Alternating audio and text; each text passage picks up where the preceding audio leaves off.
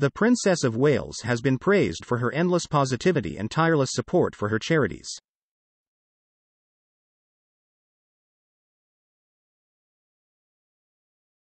Kate, Princess of Wales has been defended from trolls on social media, with fans lauding her approach to life in the royal family and her dedication to her charitable causes.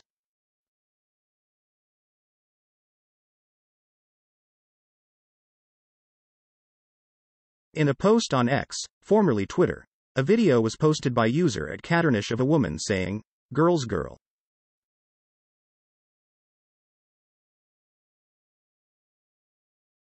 I've noticed a pattern with a lot of women. You guys support women who either make a lot of mistakes or are really F asterisk asterisk asterisk D up people.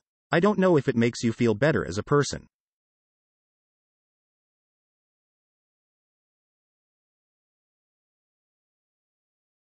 The video was captioned with the statement, This is absolutely correct.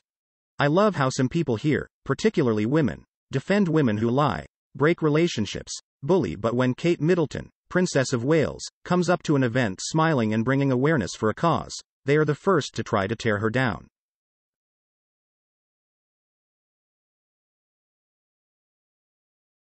Kate was spotted out and about last week back on royal duties, as she was in France on Saturday night cheering on the England rugby team in their first game of the Rugby World Cup, which saw them beat Argentina 27 10.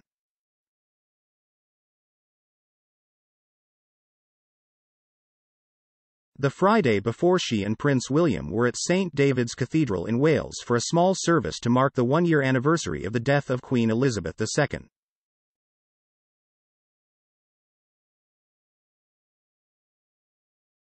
The royal couple still found time to appear on Mike Tindall's podcast The Good, The Bad and the Rugby ahead of the Rugby World Cup, with Kate and William patrons of the Rugby Football Union in England and the Welsh Rugby Union respectively.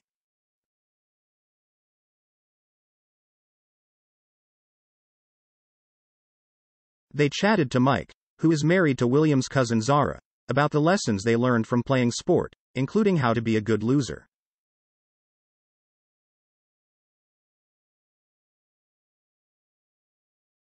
Williams said, I think people don't know how to lose well. Talking about our children in particular, I want to make sure they understand that.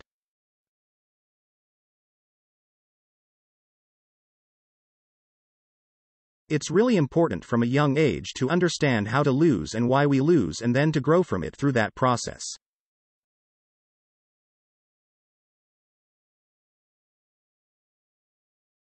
He went on to explain how playing in the rugby team at Eton helped him learn how to work with others and cope with fear and pressure.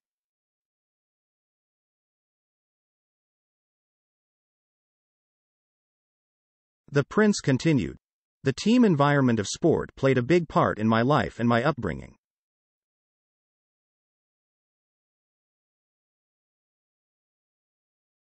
I gelled and loved being in that quadrant of fear, noise, competitiveness with your mates and your team around you.